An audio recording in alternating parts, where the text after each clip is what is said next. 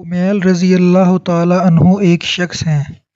कहते हैं कि मैं हज़रत अली करमल्ला वजह के साथ एक मरतबा जा रहा था। वो जंगल में पहुँचे, फिर एक मकबरा की तरफ़ मुतवजह हुए और फरमाया, ए मकबरा वालो, ए बोसीदगी वालो, ए वहशत और तन्हाई वालो, क्या ख़बर है, क्या हाल है?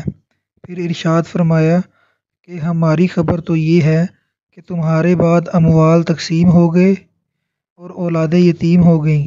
बीवियों ने दूसरे खावंद कर लिए, ये तो हमारी ख़बर है। कुछ अपनी तो कहो। इसके बाद मेरी तरफ़ मुतवजह होकर फरमाया, कुमैल, अगर इन लोगों को बोलने की इजाज़त होती तो ये बोल सकते तो ये लोग जवाब में ये कहते कि बेहतरीन शय तो तकवा है। ये फरमाया और फिर रोने लगे और फरमाया ए कुमैल कब्र अमल का संदूक है और मौत के वक़्त बात मालूम हो जाती है।